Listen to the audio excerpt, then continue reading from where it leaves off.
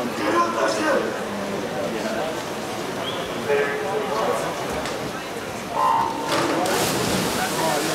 Inlijn 1, want Koen gaat.